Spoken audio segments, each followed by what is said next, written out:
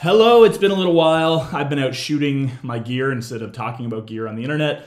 But with the recent announcement of the Nikon Z8 and Nikon talking about how they're going to have better autofocus, I wanted to share my thoughts about how I hope that's true, but I'm a little skeptical. Right now, I put cameras into two categories. There are those that have autofocus, subject tracking, eye detect, whatever that works for wildlife, and those that don't. And make no mistake, the Z9 is definitely in the category of those that do and those that work. And it's currently the only Nikon that is in that category. And I would say that the Z8, it's, you know, of course it's going to be the same. The question is, we'll see if Nikon can step it up because I think the video here I'm going to show you is going to demonstrate some issues that I've had with the Z9. This is on the most recent firmware. Uh, some of these are problems that people have talked about before but they're kind of annoying. Especially, I used to shoot Canon. I've got a lot of friends shooting the new Canons, the R8, uh, the R10, even. Um, and, and, it's funny to see these super cheap cameras just more reliable in picking up subjects. Um, in general, I've been shooting this camera for six weeks. I would say today's the first day that something's pissed me off with the autofocus. Um, I was able to end up getting what I needed, but I, I did lose footage from a really cool interaction. Um, and that's frustrating. So, without any further ado, we're going to jump in, uh, and I'm just going to show you. We are going to keep this one, you know, hopefully under 10 minutes today. Um, I recorded a lot of EVF footage, so I just want to show you guys what I was seeing and a couple things you can do about it. So, we'll hop over in three, two, one, and here is DaVinci Resolve. Okay, so here's the otter. This was not a find I expected to see while out in miserable weather today, but I definitely didn't expect to see the autofocus just pulsing on this guy. Now, um, you know, I, I'm not sure what the issue was there, but it was just kind of jumping for no reason. You see the same thing here with this Purple Martin the other day. The autofocus just doesn't seem to pick up the subject and it's focused on the birdhouse. Um, in general, it doesn't pulse, which is nice, but sometimes it just can't pick things up. If you look at the top of the screen, you'll see here I'm using the full screen capture. I rarely do that, but I wanted to try and see here, can it pick up these birds? So we've got a couple of goldfinch, uh, it's a purple finch female, I'm told, and uh, looks like a maybe a female goldfinch. Maybe that's a male. I'm I'm bad with my IDs on birds, but you can see. I mean, it's trying. It's it's seeing something, um, but it's just really struggling to get it. So here again, look up at the top. I've got a small single point, and now I've moved to a wide box. I'm using subject detect on both. Didn't get the bird. No chance here with the chickadee. Um, that was on the full screen grab uh, the, for autofocus, but even on the smaller ones, it's not working. Again, wide, large tracking here. It can't find the bird. It can't see the bird back behind. I had to focus on the tree branch or on the fence post there to get it. Looks like a northern flicker back there maybe, or a dove. Can't tell from the butt, but the camera can't tell either. So even here, I mean, I've got a box with subject detect placed right on it, and it can't tell that that's a bird. And that's kind of frustrating, as you saw with the chickadee. Yes, I think people talk about the Nikon having different modes and you have to use the right mode for the right situation. But what's frustrating is that's not how Canon and to an extent Sony works.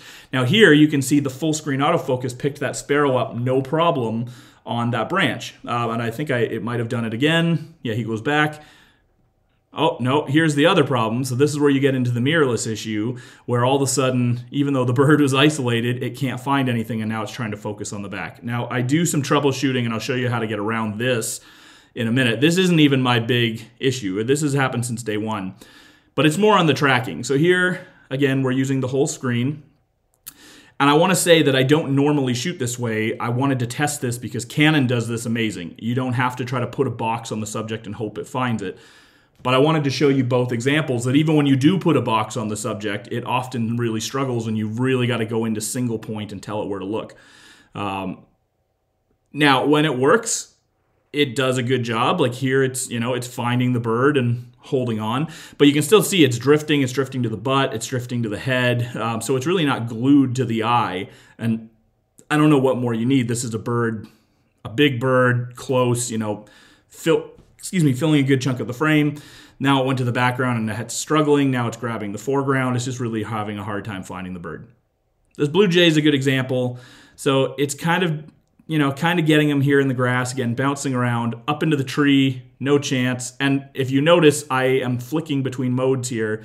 I was not using the the be all uh, the full screen autofocus. I was using uh, a tight box. Here again, trying to use the full. Now it does get them isolated on the branch.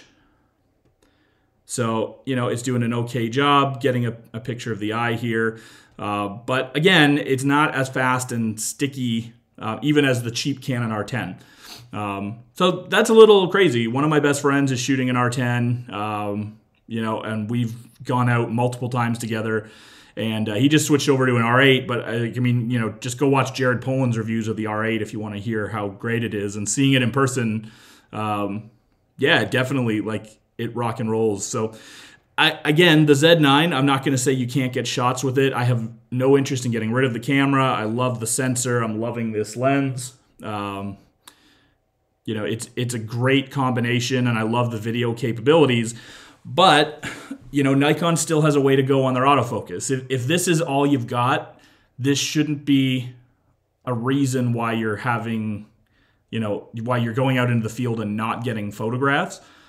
But when you're seeing Canon do this for a fraction of the price, that's you know something you've got to think about. So same here on this dove. Like again, you can see it's just not sticking.